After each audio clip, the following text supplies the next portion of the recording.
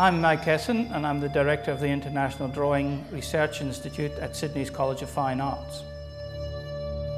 I'm one of two artists who were invited to design work for a major fashion exhibition and catwalk show in Shanghai, China. Professor Peng Bo, the Deputy Director of the Art Institute of Donghua, is a fellow artist and draftsman who in fact initiated this project and in discussion with me established the theme Outside In. We've had an association with Donghua University and I'm a visiting professor there and it was through their interest in collaborating with us through the drawing process that this project was invented to try and use the drawing as a means of focusing their major area of study at the Donghua University, which is fashion design. My work deals with the human body, inside and out. It references human proportion, anatomical diagrams, acupuncture charts, and surgical procedures. I drew heavily on uh, Chinese cultural history for the inspiration for the, the garments. The basic principle of the simple structures of Chinese clothing, traditional clothing, combined with the very elegant and sophisticated detail was something that I tried to combine in the works that I produced.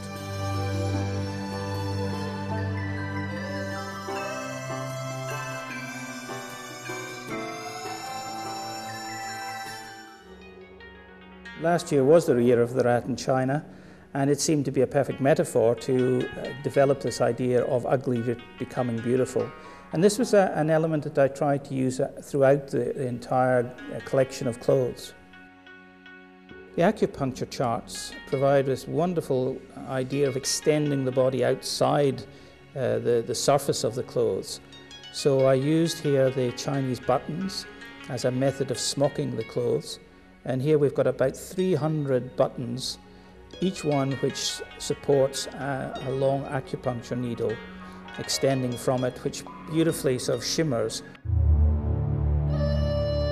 The kang is a traditional Chinese instrument of, uh, of torture for the Chinese criminals. So I used this element. I suppose we're all uh, the captives of, of fashion.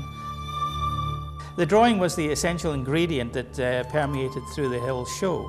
Uh, but not only did I have to design the clothes, uh, I had to design the makeup, the hairstyles, all the accessories, choice of shoes, underwear, um, choice of music, etc. And also the, contributed to the final staging of the, the large and eventful catwalk show.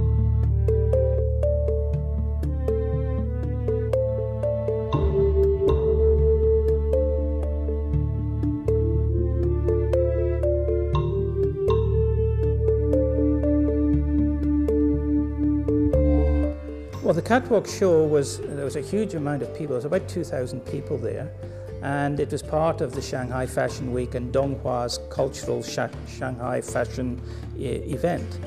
That night there was a lot of VIPs, and um, it was, there was a great deal of pressure because the, it was important for FACE to uh, make sure that this event went off really well and uh, did what they expected it to do to you know, brings of prestige to the, the university.